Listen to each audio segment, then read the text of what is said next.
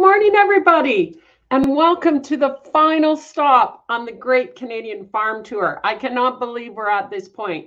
And no, I'm not Colleen. Colleen's uh, taking the day off today. My name is Joanne Ross, and I'm the Executive Director for Agriculture in the Classroom Canada. And I'm so thrilled to be here today. I'm sorry that I'm not Colleen. I hope I can do just as good a job as she has been doing all through the month.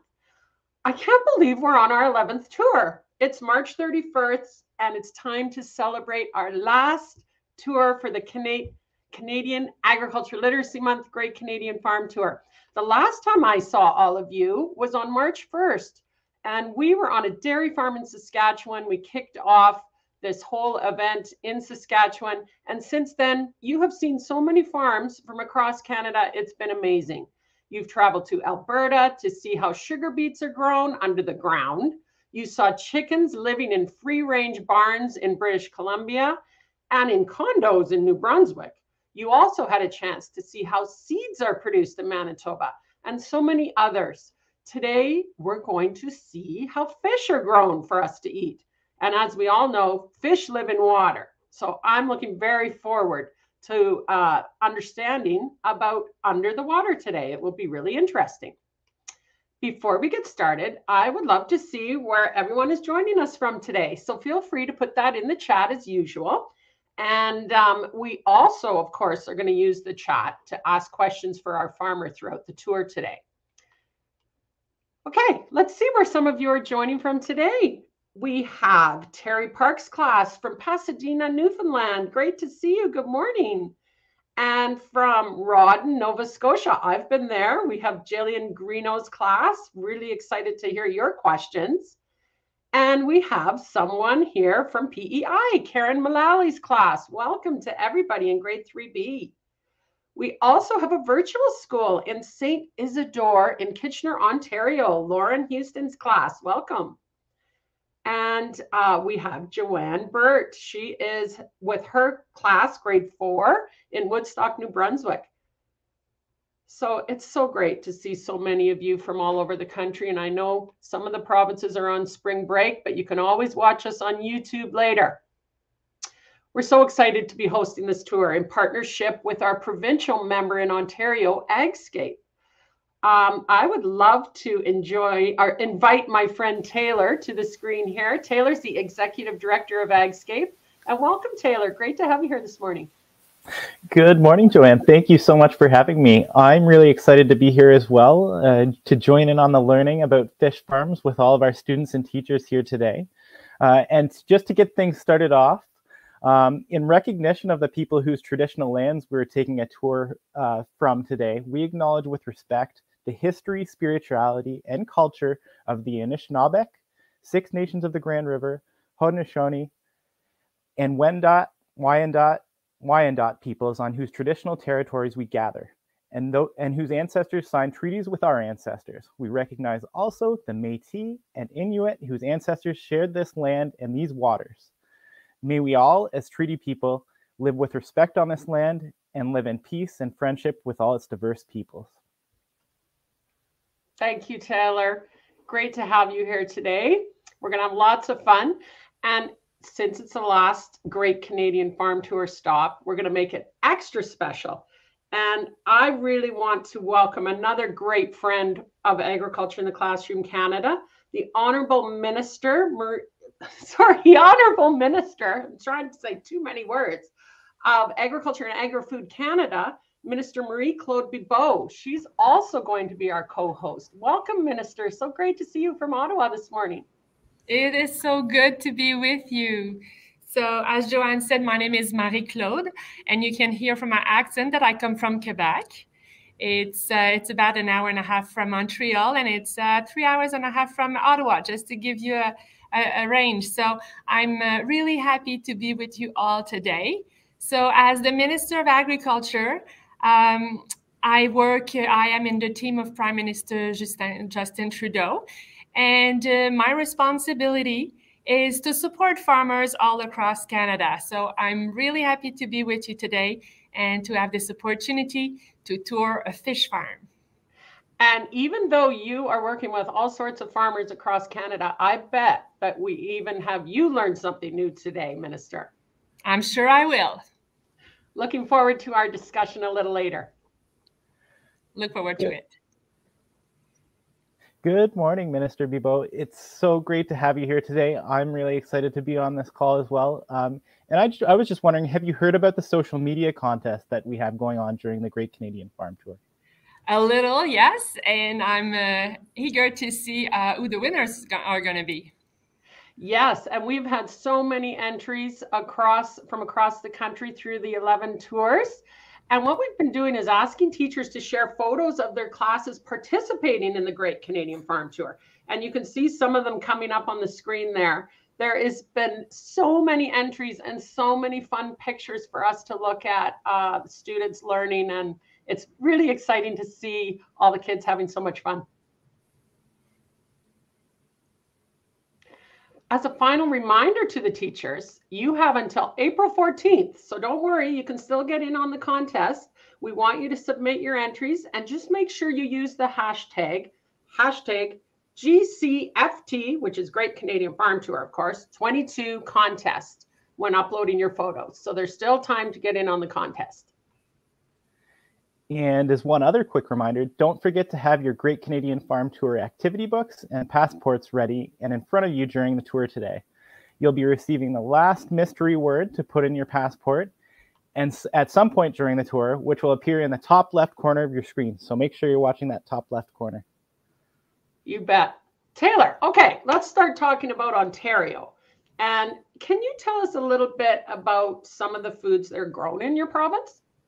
Definitely. So we're we have a lot of diverse foods grown in our province. Um, we're we're a big province, and some of these include strawberries, apples, corn, potatoes, asparagus, peaches, and so much more. Mm. Uh, today, we're really excited though to learn more about aquaculture and fish farming here in Ontario. And without further ado, I would like, on that note, I'd like to introduce you to all to our fish farmer today, RJ. So, welcome, RJ. Thank you for coming. Thank you for having me. And RJ is coming to us today from his farm, Cedar Crest Trout Farms, um, which he's an owner of with his family. Uh, a second, they're a second generation family business that has five trout hatcheries and a processing plant near Hanover, Ontario. Um, and Cedar Crest is the primary supplier of juvenile rainbow trout called fingerlings to the larger net pen farms in northern Ontario, which together grow 100 million meals of trout every year. 100 million. Cedar Crest also grows and fillets trout, salmon, and Arctic char that they distribute all over the province through a unique home delivery network. Uh, we're excited to join RJ today as he shares the daily happenings at his family's fish farm and its importance in Ontario.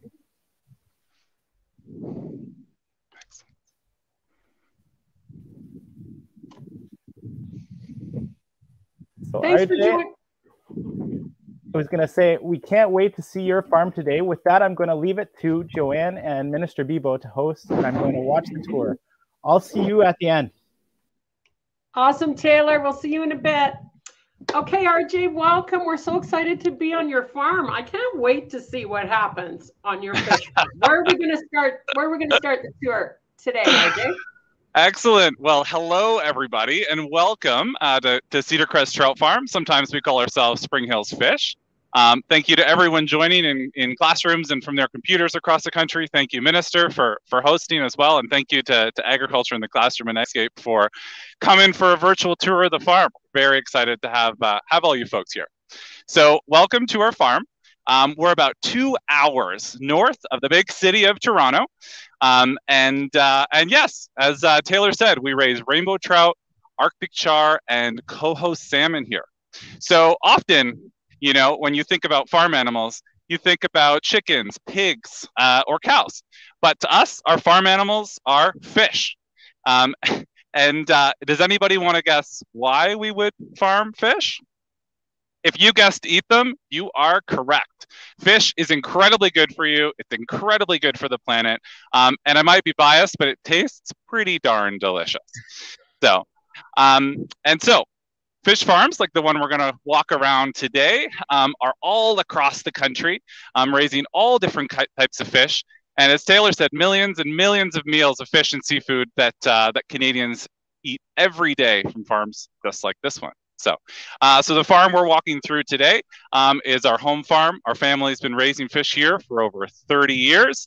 Um, fish farming runs in our blood. Uh, it's uh, it's my sister and I and our big team now uh, that are our second generation fish farmers. So, but enough of talking about the fish. Why don't we go look at some of them? So, so the way that a fish farm works is actually pretty simple. Um, what we do is we borrow water from, in this case, a local river, sometimes a lake or a natural spring. Uh, it flows through the tanks, giving the fish a very constant supply of fresh water.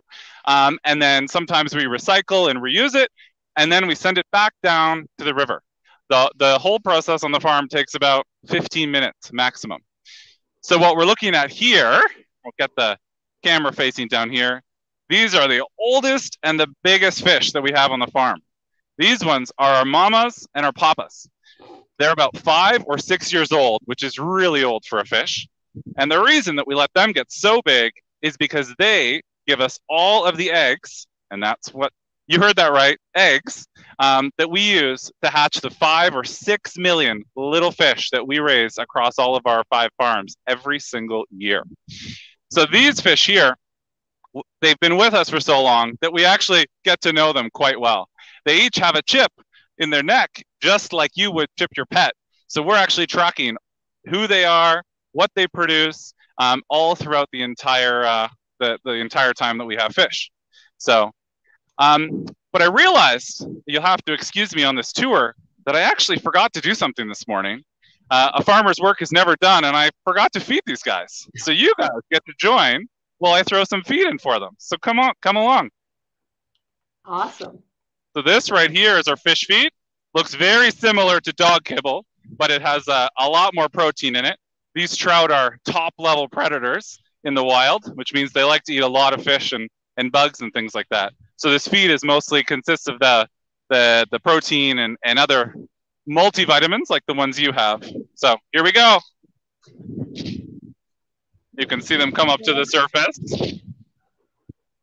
They're hungry. They are hungry.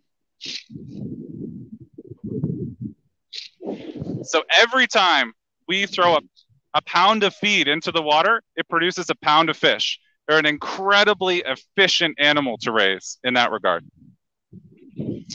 So yeah, there we go. So next up, we're actually going to head in to see the eggs and the babies that I talked about.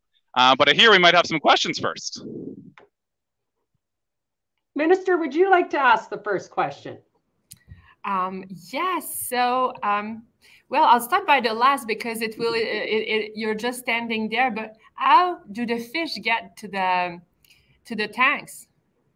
Oh, great question. um, perhaps we can pass by them. Maybe we'll scan a little bit over here, and you'll see some of these blue tanks just over there.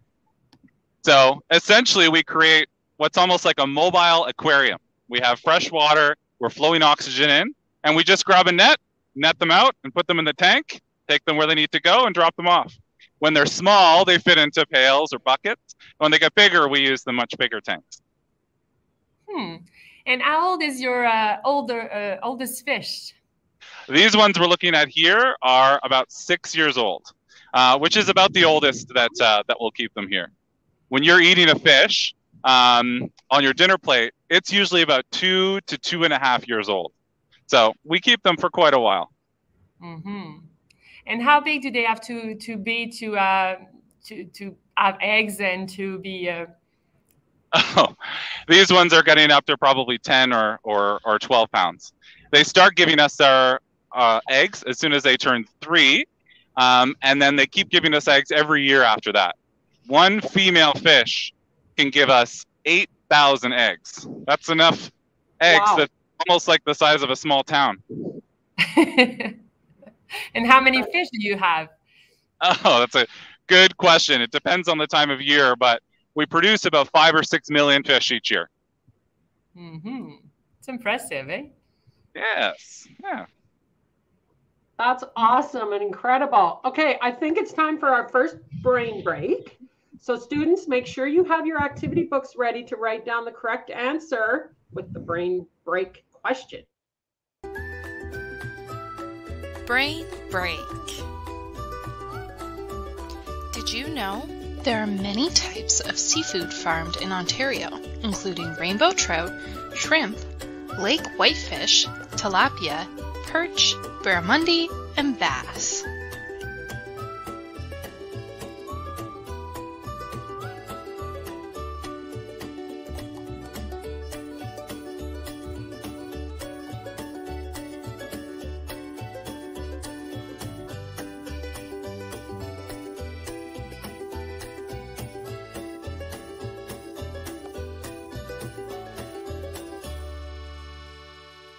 Thanks for learning with us. This when it started.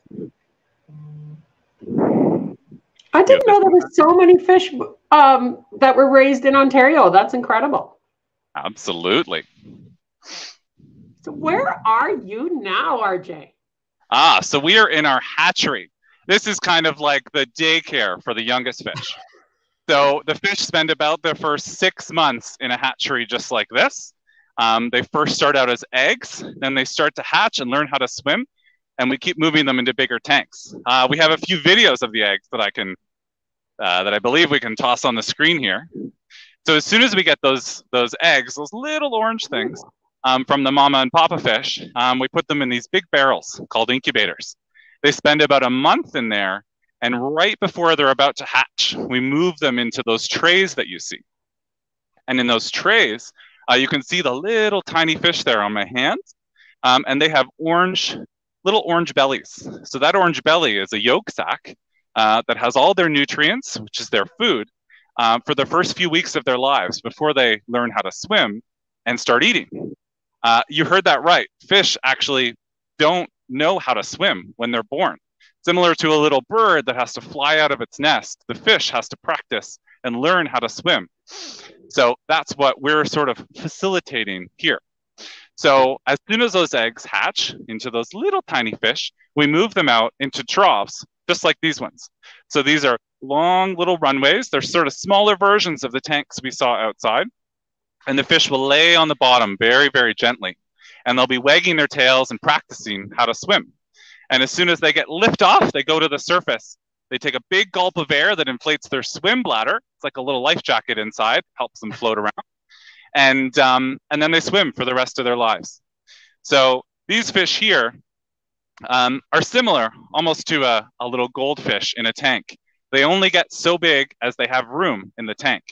So as they start to get bigger and bigger and bigger, we keep moving them into bigger and bigger tanks. So they start out in troughs like this, there'll be about 30,000 fish in one trough. As they get a bit bigger, we'll keep splitting them so that it's only 10,000. And then they'll move on to bigger tanks until they're big enough to go to those big outdoor tanks that we saw outside. So what you can see Heather working on in the background here is one of our daily farm chores, in addition to feeding, except um, she remembers to do her chores. Um, what she's doing here is she's actually removing all of the manure, all of the fish poop out of the tanks every single morning. She brushes down the sides of the tank and flows it to a special pipe at the bottom that sends all that fish poop out to a manure pond. And then, just like other farmers, we're spreading that manure on nearby fields to grow plants and to grow vegetables. So, okay, well, that's the hatchery here. Wow, that's a lot of that's a lot of different things going on, RJ, in that hatchery. wow. So fish it's just sort of like people where it's inherent that you learn how to walk. With fish they don't need to take swimming lessons. They just they move into that and then they learn how to swim right away. I bet there's a ton of questions in the chat about this but well oh, here's one from karen mullally's class. Mm-hmm. Memphis wants to know how many fish can be in a tank. That's a good question. So we with fish we don't want too few in the tank because then actually sometimes they start um, claiming a little territory and, and, calling it their own in the tank and, and, and pressuring the other fish. But we don't want too many fish in a tank because then there isn't enough oxygen in the water. um, and they're they're too crowded in there. So we're constantly moving fish around in the tanks. So there could be as few as five or ten thousand, but as soon as they go to the fish tanks outside, the much bigger ones, we can put 250 or 300,000 in one raceway. Wow, it's hard to believe you're talking those kind of numbers. And they sound like they're all like part of your family. you love the fish, don't you, RJ? Absolutely. Absolutely. Is there another question from a student? Oh, this is a great question from Lori Thompson's class. They would like to know how deep is the water in the tanks? Oh, so these ones here are is only about 10 or 11, uh, so about 30 centimeters, 10 or 11 inches. Um, and outside, it's 32 inches. So um, as they get bigger, you, they you, get deeper water then. They get deeper water, yes. Minister, do you have a question? Or there might be one from another class. Well, I, I see that the, the the students have so many questions and uh, from uh, Beth's class area from PEI and 3D is wondering how big do the fish eggs get? How big do the fish eggs get? Well, they're actually quite small. In fact, they're probably maybe two millimeters um, wide. Not big at all. Maybe uh, three tenths of a gram. Um, they're quite small. So it's amazing when you look at how big a fish gets when you see it on your plate or you see it swimming around and it comes from this itty bitty tiny little egg. It's incredible. So, you have to take such good care of those eggs. Yeah. In the videos that you saw, um, you'll actually see these little black speckles on the outside of the eggs and a white line. So the the the eggshell is actually see-through, and you can see those those black dots, which are their eyes, and a little white line, which is their spine, right through the eggshell. So cool. Okay, I'm told we have to go on to our next brain break, so I better obey the rules, RJ. Brain Break. Did you know? Health Canada recommends eating seafood twice a week because it's full of many important nutrients such as protein, vitamins, and minerals that help keep our brains, eyes, and immune system healthy.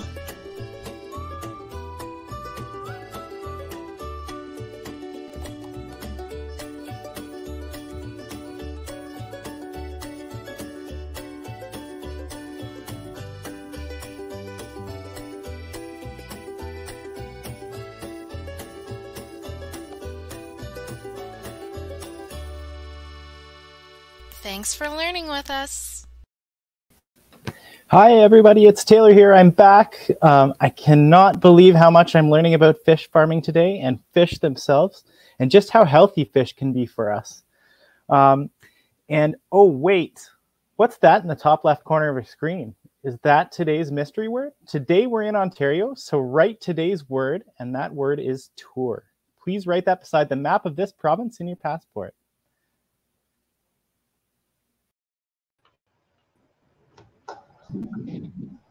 Now, where are all? There he is. There's RJ. You have moved again. You're just like one of the fish. You just move just, around quickly. Yeah, we're blessed with this beautiful day.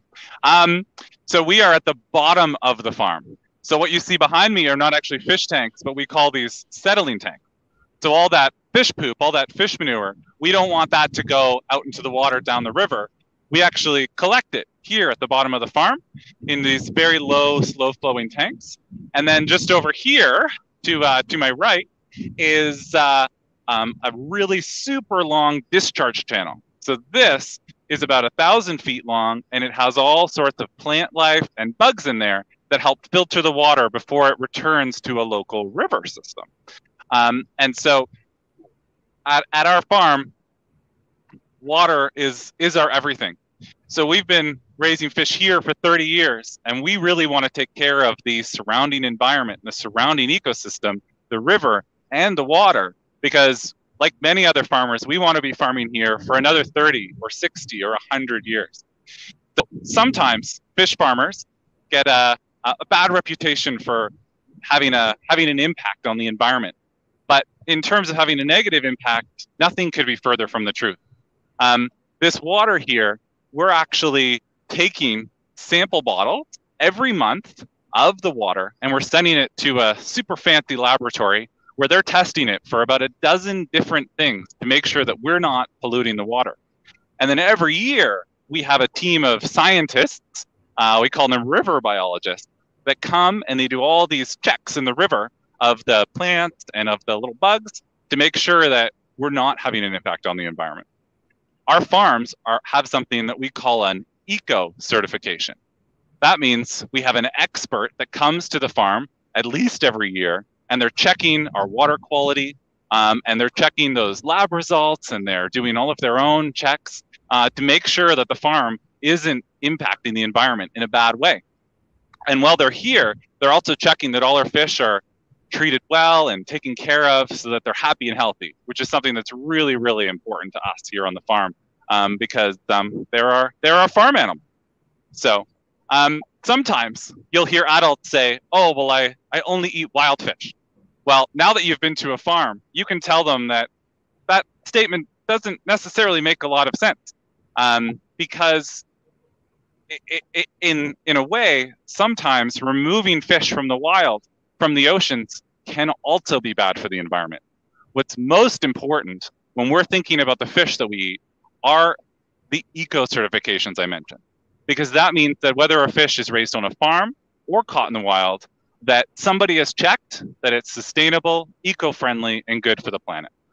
So, but yeah, so thank you for coming to the farm. Happy to answer any more questions. Um, and you can find us on social media too, Instagram and Facebook um, at Spring Hills Fish, which is um, how we how we market ourselves and how we we uh, share a lot of information about stuff that's happening at the farm. Um, and then we deliver fish all throughout uh, Ontario direct to home. So that's Spring Hills Fish. But uh, happy to answer any more questions while we're here. I am sure we have more questions in the chat. There you go, Minister. You can ask us. Do fish get sick? It's a question from feral class. Oh, that's a great question. So this farm here, because we're borrowing water from a, a local river um, that is home to all sorts of other different fish and things. Um, it's similar to to you sometimes going to school and and interacting with somebody and getting sick as well. Um, so sometimes our fish do get sick. Um, and so we use all sorts of, of natural methods to, to deal with those. Um, sometimes we're, we're adding things like uh, it's, a, it's a carbon compound made from peat moss. It's kind of like a really um, fertile soil. Um, and that helps the, that helps the fish um, helps their their microbiome and all of their healthy bacteria fight whatever's in the water. Um, and then sometimes um, but very rarely we will use antibiotics on the farm as well. That's often only if um, they're small fish whose immune systems can't always fight off things that come our way. But we're really, really fortunate um, here in Ontario and across Canada that we have beautiful water um, and we really understand how our farms work and how to keep our fish happy and healthy. So getting sick is something that very rarely, rarely happens. Mm-hmm. And Memphis and uh, Karen are interested to know what's the favorite part uh, in your job. What what do you prefer to do in your job? uh, that's a good question. Um, I think one of my favorite parts are um, when we move the the fish out to the troughs, um, and they're not quite swimming yet. But when you look down at the tank, and sometimes they get a little scared when you're looking at them, um, and they're wagging their tails, and you can see them practicing to swim. So it's uh, and then I think, you know, being able because we have the fish for for you know almost over two years before we we harvest them um, you really do get to notice a different group and notice some families some that come from different groups of parents are a little bit different but you're following those fish for for over two years. So you do tend to get pretty connected with them.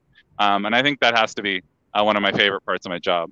The other thing um, is something my father used to say is that um, the second job of every fish farmer after keeping the fish alive is education and showing people what happens here at the farm.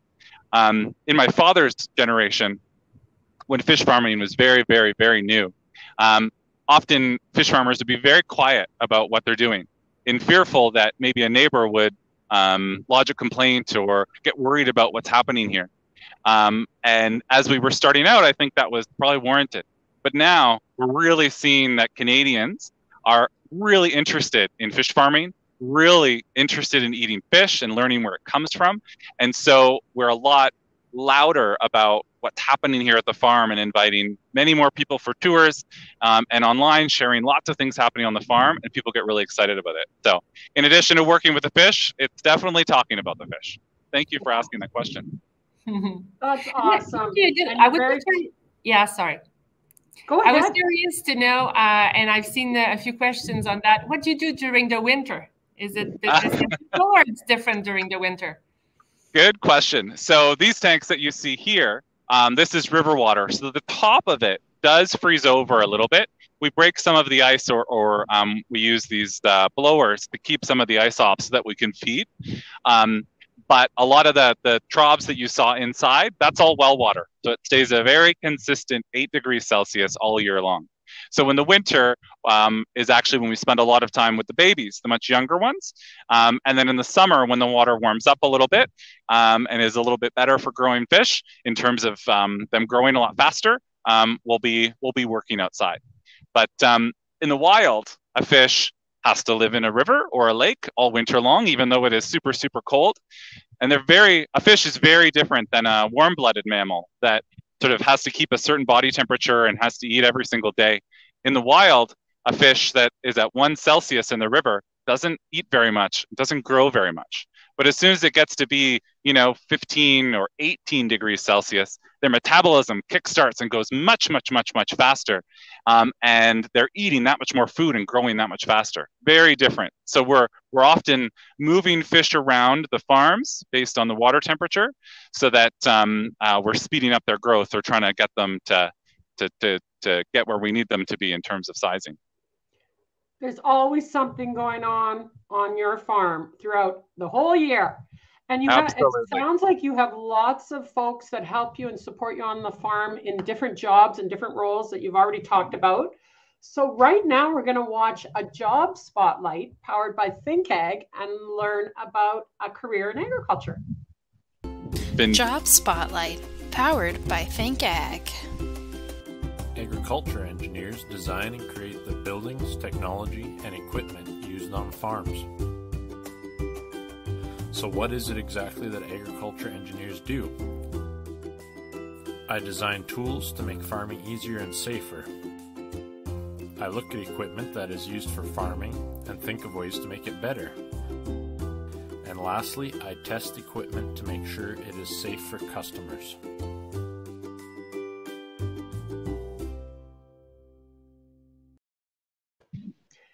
Bet there were many engineers involved in designing your farm, RJ. Would that be right?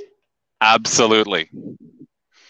Okay, we have come to the last section of this farm tour. And we're going to have time to ask a lot more questions. There's one in the chat already, and it's from Joanne Burt's class. She Dax wants to know how you keep the water the right temperature in the tanks. Oh, great question. So at this farm, um, we work with what nature gives us. So this river water is cold in the winter and fairly warm in the summer. Um, and then the indoor tanks, it's whatever water temperature or whatever temperature the water is when it comes out of the ground. So we don't manipulate the, the temperature.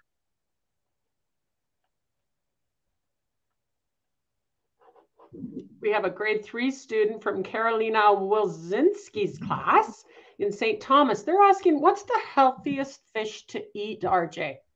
Oh, in your opinion? That, that's a great question. So I think when choosing a fish, uh, the first thing I'd look for is that it has those eco certifications.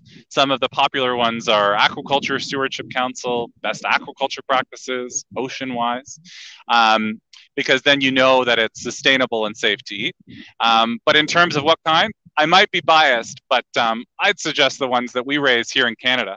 So that's rainbow trout, um, uh, coho salmon, Atlantic salmon, Arctic char, and then we're even growing things like a barramundi or a tilapia um, and things like that as well.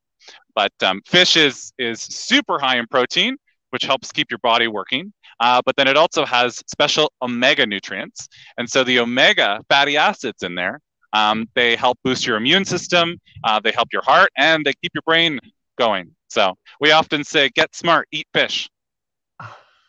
Love it. Yeah.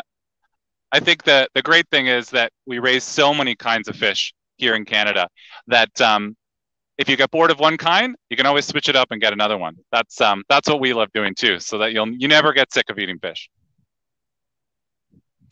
A grade three student, Gemma from PEI, wants to know how long does it take for a fish to give birth to the baby eggs? Oh, um, so they'll first start laying their eggs when they're three years old. Okay. Yeah. And then how long does it take for the eggs to actually, like, is there a time period? Just, I don't know if it's called gestation or. Oh yeah, yeah. So they'll they'll give eggs once a year, um, and well, we they they're, they're usually ready to give them. It's over about a week timeline once a year, so we'll be watching them constantly to see if they're ready, um, and then it takes them about a month to hatch and then once they hatch, they they start that swimming process. Incredible. So. Over to you, Minister. You... I can see on the side so oh, okay. many good questions. It's unbelievable. And um, one made me, maybe you, you've seen me laugh, but one is asking, have you ever fall in your tank? Uh, I was wondering that too. we call that baptism um, because it happens to every new staff member that joins the team. I think our record is our farm manager here, who's been here for uh, about six or seven years. Um, it took him almost a year and a half to fall in. Usually, it happens in the first week. So, um, I have fallen in these tanks more times than you can count. So, so sometimes it scares the fish, and um, and so they rush away from you down the tank. Then they they kind of get scared at that end and they come right back at you like a big tsunami of fish. So not only do you fall in, but then this like tsunami of trout come at you. We have a great question here, RJ, and it's from Oliver. And he'd like to know how you keep bears and other predators away from the fish. Ah, uh, that's a good question. That's a really good question. So the number one thing we do um, is put up um, often buildings over top of these raceways. So this is our only farm um, where you see the raceways like exposed like this. Um, and there's a lot of people in and out. We have a little fish store here. Um, we have the fam. We have the. Uh, we all live here, um, and we have the all the activities at the farm. So we often don't have a lot of animals that that come to this farm. Um, but often we're, we we put buildings up, or we use a, a bird netting. We don't have any bears quite this far south, but we do have a lot of blue herons um, or mink or muskrat. So um, what we do is we have some, um, we do some trapping to relocate them, um, or we try and keep them out using uh, buildings or, or things like bird netting. So. Interesting. It is definitely a big buffet to them. So you can often see when the, the young blue herons discover this for the first time, um, and then they they get scared away. So. this is a great question from Bishop Feild class, and they want to know how did you get your first fish to the farm, and did you catch it from a lake? no, not quite. So um, our, our parents bought this property here um, in 1986. Uh, it was an old fly fishing club. Um, it has a very special river on it that's all spring fed, so it's a bit colder. It's really good for brook trout. Um, and uh, and it took them nine years to get all the permits and finish all the construction to build here. But at that time, and still, there's lots of other farms. So we just simply brought fish in from other farms. Our breeders here, those mamas and papas, um, they actually date back to the 1950s those family lines when we first domesticated rainbow trout here in Ontario. So that's about 25 different generations of fish. Um, and the reason that we use those instead of trying to catch wild ones is there's just a few differences. They they can um, deal with being handled. Um, they like the tanks. Um, they they understand sort of the feeding through the pellets. There's there's a few things that um, that we are, are good about the, the, the breeders that we have here. They can also handle some of the water temperatures that we have um, and things like that. So versus trying to get fish from the wild. Incredible. Well, we have time for only one more question before we need to let Minister Bibeau go to her real job. and that question is going to be from Muhammad wants to know what your favorite fish is, RJ. Oh, that's a good, good question. So, um, for the majority of our history, we've only raised rainbow trout. So, for the longest time, the trout was my favorite fish. Um, but as soon as COVID came, uh, really disrupted things for us. And that's when we started doing our own processing, which just means filleting the fish and, and freezing them so that we can sell them to people to, to cook up and eat right away. Um, that's when we started getting into different other different kinds of fish, like the Arctic char and the salmon. Um, and so I have to say that I think I have trouble choosing any one fish. Um, I really like just constantly switching it up. So as soon as we got Arctic char for the first time, it's all I ate.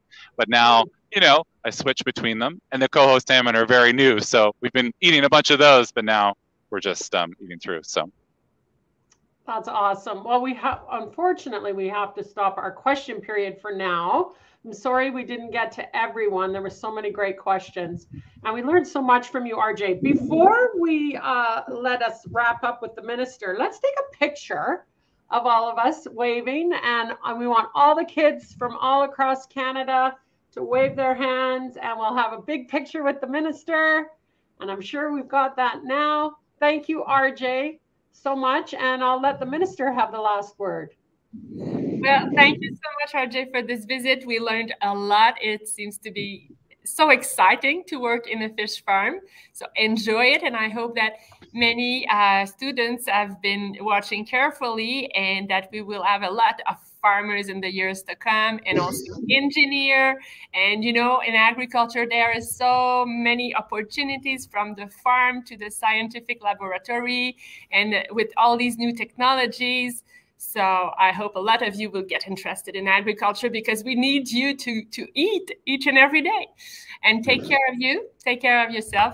Bye bye Thank you, Minister. As I said, you're a wonderful support for agriculture education in Canada. We want to thank you so much for joining us, making time, and make sure you say hello to the Prime Minister Trudeau for us this morning when you go to work in the big cabinet. Thank you so much, and we'll talk to you soon. I will do it in about 15 minutes. I'll be with him. bye bye. Bye bye. Awesome. Wow. Didn't didn't we learn so much today, Joanne? Yeah. yeah. Awesome. Yeah. I've never been on a fish farm before, so it was pretty exciting to be there. And I was so amazed at, well, first the numbers of fish mm-hmm. that RJ has on his farm and also all the different kinds. I had no, had no idea, but I think I'm going to have fish for supper tonight. I'll tell you that. Definitely. And I think they just keep expanding the types of fish that they're working with. And uh, it was really cool to learn about some of the environmental practices they have in place to make sure that uh, everything's safe on their farm. Um, yes. And, and all so of the jobs they're going to make yeah. it happen. Yeah. yeah. Yeah, for sure.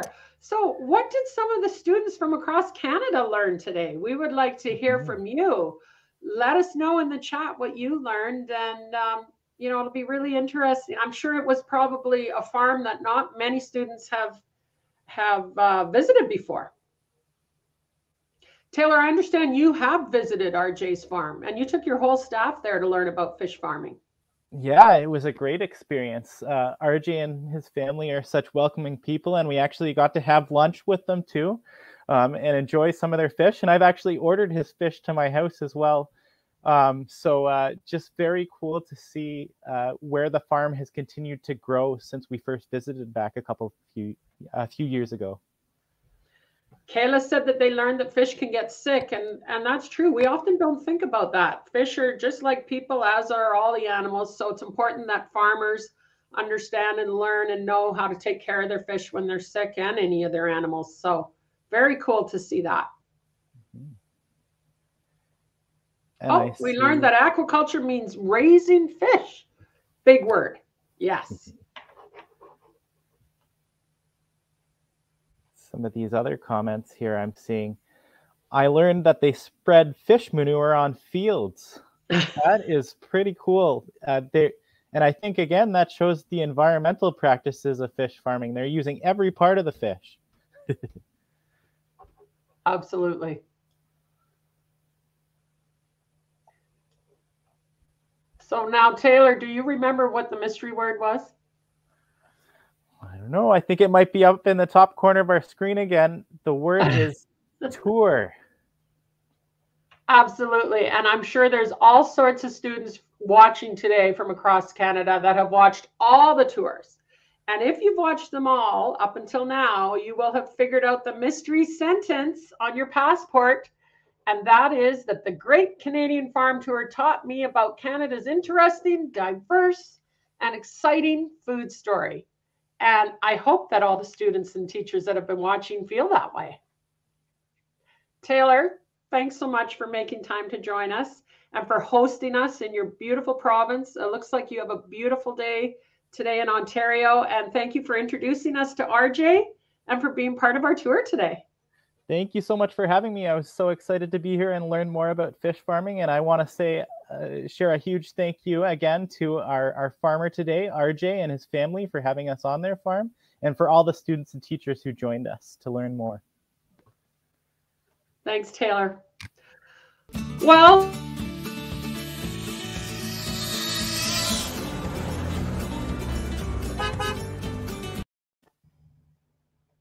Oh, they thought they could cut us off, Taylor, but they I cannot imagine a more successful month traveling across the country, visiting 11 different farms. Agriculture in the Classroom Canada has had so much fun bringing all of you, all of you students and teachers, to all of these farms in different provinces. Teachers, you will be hearing from our team very soon as we get ready to launch our Great Canadian Farm Tour teaching resource. We're really excited that all of our tours are also getting translated into English and French and even into English and French sign language. So when you visit uh, our tours again to watch again on YouTube, you will have that opportunity to have them translated. We hope that you know you've had just as much fun as we have had on this road trip across Canada, and that you've learned a lot more about where your food comes from. And maybe you'll start to think about trying some different things. Like maybe tonight you'll have Arc- Arctic char for supper. Anyway, thank you so much for participating in our great Canadian farm tour. This is goodbye from Agriculture in the Classroom Canada. Until we see you again, and hopefully that's sooner than later. Thank you, Taylor, and goodbye, everybody. Thank you so much, everybody.